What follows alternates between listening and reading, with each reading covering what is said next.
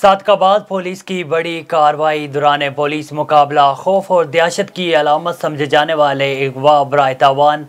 डकैती बतखोरी पुलिस पर फायरिंग जैसी संगीन नोयत की मतद वारदातों में मुलविस और चौकबाई में नौ इतमाही कत्ल की वारदात के नामजद मुलजमान अंडर गैंग के दो सरगर्म साथी हलाक, कामयाब कार्रवाई पर डी पी ओ रहीम यार खान, अख्तर फारूक की पुलिस टीम को शाबाश।